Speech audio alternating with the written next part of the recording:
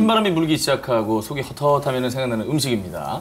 뜨끈한 국물 한 입이 마음까지 따뜻하게 만들어주는 대한민국의 소울푸드. 오늘 음식, fire!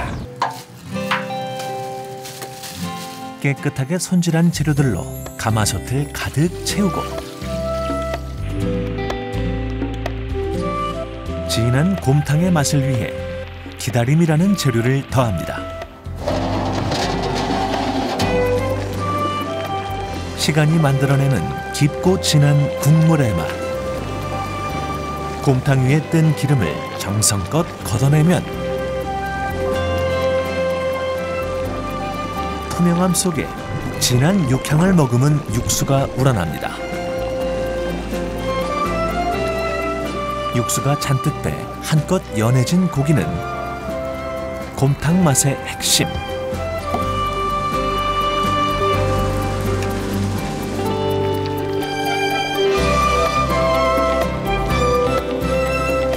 곰탕 국물이 밥알에 고루 배도록 토렴해주면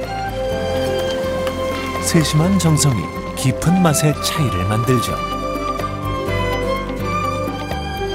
여기에 씹는 맛과 수수한 멋이 있는 다양한 고명으로 마무리. 부드러운 고기와 진한 국물, 촉촉한 밥의 완벽한 조화.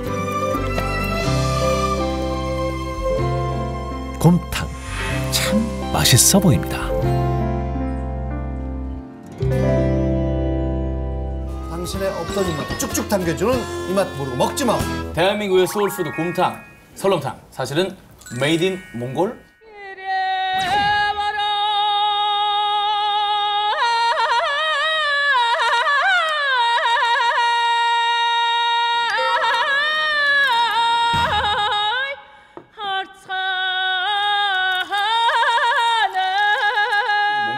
곰탕이라고 하는 거 슈루슈루랑 우리 곰탕이랑 좀 레시피가 비슷한지 그게 문헌을 보면은 레시피는 거의 달라요, 완전히.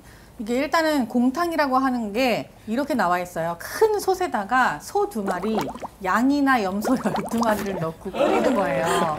그리고 이제 고기는 잘게 다지고 소금으로 간을 했다 이렇게 먹는다고 되어 있는데 우리나라 곰탕하고는 이렇게 따지면은 완전 다른 레시피인 거죠.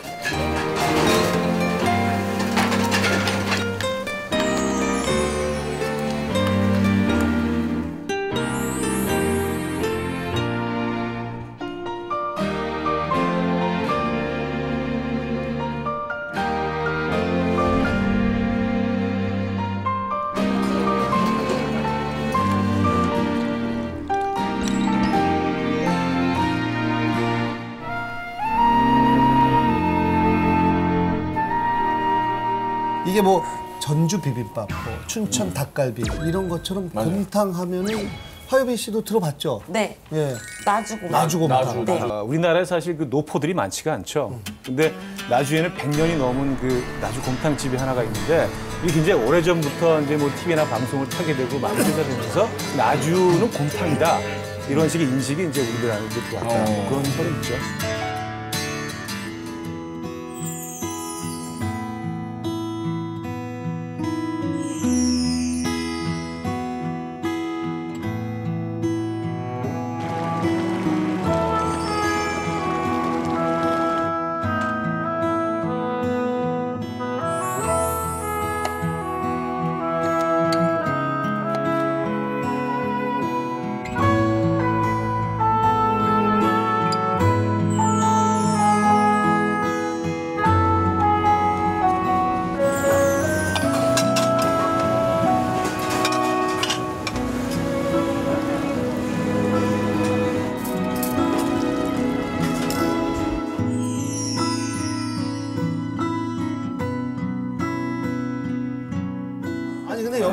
단골들이 엄청나잖아요. 그 뭐 정계, 재계, 문학의 유명 인사들은 뭐 여기 다 다녀갔다고 보시면 되고요. 그리고 이제 그 단골들이 워낙 오랫동안 많다 보니까 이제 그 음식 그 메뉴를 부르는 뭐 애칭이나 뭐 이런 뭐 이런 은어 같은 것들이 생겼어요. 그래서 깍국 같은 경우는 귀엽지 않아? 깍국? 약간 깍국하는 깍국은 이제 깍두기 국물을 국물. 부어서 넣는 거 깍국.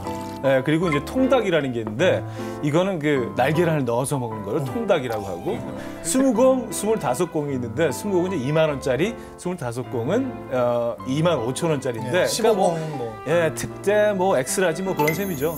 고기 양의 차이죠. 정확하게 고기 양의 네, 고기 차이. 양의 차이. 와. 이 집 곰탕 뭐 어떻게 끓입니까? 이 집은 그냥 옛날부터 한 방식으로 끓인다고 해요. 근데 일단은 한우는 암소를 사용을 하고요. 그리고 일단 양지 같은 고기류하고 그리고 내장하고 사골하고 세 가지를 같이 넣어요. 근데 내장이나 아니면은 고기 같은 경우에는 꺼내는 속도가 다르잖아요. 익는 속도 다르듯이. 그래서 순차적으로 꺼내 놓고 세네 시간 정도 식혀서 기름을 완전히 걷고 이렇게 해갖고 낸다고 해요. 녹그릇에 이렇게 나오고 밥이 예, 안에 이렇게 담겨서 나오고 이제 파 조금 넣어갖고 이렇게 간 맞춰서 먹으려고 미리 한번 먹어보면 이제 다 잘 간 돼 있는 것 같은 느낌이고 아쉬운 점은 일찍 닫는다는 점이죠. 그러니까 7, 800그릇 정도 그팔 양만 만드신다고 하는데 7시부터 늦어도 4시면 이게 다 이제 그 어, 소비가 되는 거죠.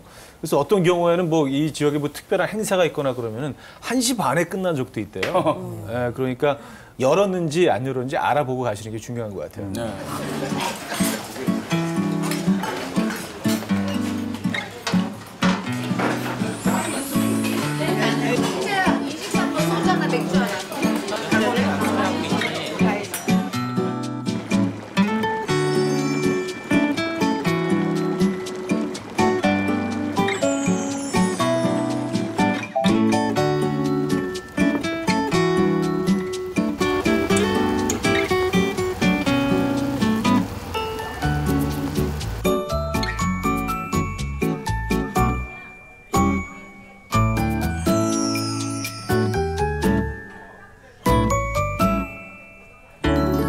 이 집도 굉장히 오래된 집이죠. 네, 여기도 이대째 영업을 하는 집이고요. 45년 정도 됐다 그래요. 근데 지역 명물 중에 하나예요, 진짜.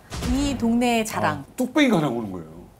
너무 바글바글 끓어서 나와서 이거 지금 걱정했어요. 이게 어떡하지 했는데 수육도 하나 시킨 게 있어. 다행히 수육을 먹으면서 좀 기다릴 수 있었어요. 근데 천천히 또 먹는데 여기는 찍어 먹는 게 있어요.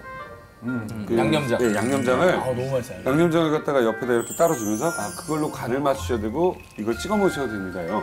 매콤해요. 음, 양념장 너무 음, 맛있죠. 매콤한데 아 이걸 먹으면서 또 하나 옆에 보니까 김치 깍두기가 있는데 어, 양파를 하나를 넣어서 달달함이 내려오니까 어, 얘도 또 맛있네. 어, 근데 이제 국물을 먹었는데 뜨거우니까 맛을 모르겠는 거예요. 거기다 뒤에 시끄럽지 뭐하다 하다가 한 4분 지났는데 맛있기 시작해요. 어. 한 6분쯤 되고 나서부터 아 이제 맛있구나. 아, 그래서 6분 안에 결정된다. 어. 그 양념장을 이 옆에 계신 밥 추가시키신 어르신이 그 그거를 이렇게 덜어 가지고 밥 위에다 얹고요. 그 얹은 거에다가 꼬리 수육을 살을 뜯어 갖고 그거를 어머머머. 비벼요. 아, 비벼? 네, 비벼갖고 그렇게 드시더라고요. 수육 롤이네, 수육 롤. 참을 수가 없는 거예요, 진짜. 진짜 맛있겠다. 그래갖고 간장을 딱 떴어요. 그랬더니 그 짜린 두 분이 쫙 이렇게 달려오시더니 그래 그 이제 발견하셨다. 그 간장 그릇에다 이렇게 떠서 꼬리 수육을 이렇게, 이렇게 집어갖고 손으로 이걸 막 이렇게 뭉개서 먹으라고 여기다가. 이렇게 먹어봐야죠. 아 예. 하고서는 뭉개서 먹었는데 진짜 맛있는 거예요. 영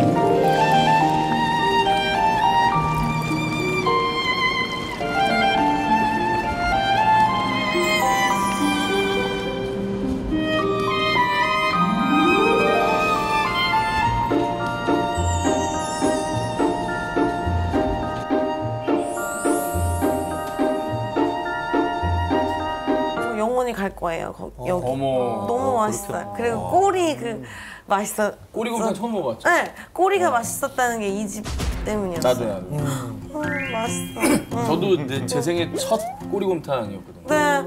이만하더라고요, 진짜 소가 속꼬리가. 저는 부모님도 모시고 가고 싶고 어. 친구들도 다 데려가고 싶고 아. 사실 어 좀 거기 저도 입구는 조금 무서운데 아 그래도 괜찮아요. 그게 더 멋있어요. 사장님 옆에서 해주신 말씀 중에 제일 도움이 됐던 건 양념장을 이렇게 떠서 네, 네. 먹는 게. 저 원래 이렇게 소금만 이렇게 살짝 먹거나 그런 순정을 좋아하니까 양념만 지저분해지는 게 싫어지는데 앞집에서는 깍두기 국물에 빠진 거고 여기는 양념장을 이렇게 슬슬 풀으니까 그 부추가 살금살금 씹히면서 맛있잖아요.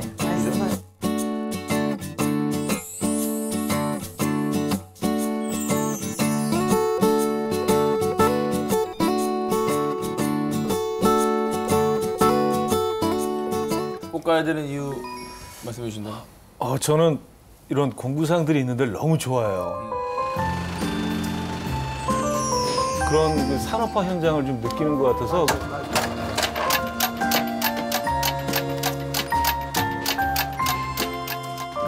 근데 그런 공간에서 또 이렇게 맛있는 음식을 먹을 수 있다는 건 이것밖에 없죠. 음. 네. 아, 네. 맞아요, 맞아요.